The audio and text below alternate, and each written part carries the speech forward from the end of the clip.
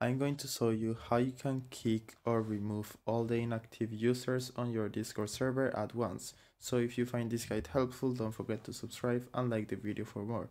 So all you need to do is go to your Discord server and then right here to your server name and then server settings. So now you need to scroll down to the bottom where you will see members.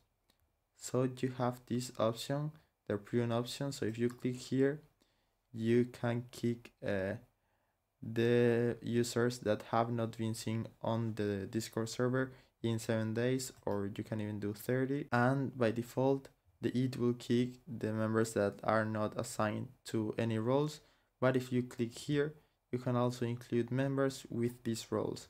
So for example if you want to kick uh, everyone that is not active on your server for more than a week or a month you can select all the roles and then select this option and you will see how many members you will kick by using these features. So just click right here and this will automatically kick all the inactive members. In my case I only have bots and they are active so it didn't kick anyone. So I hope it was helpful and thanks for watching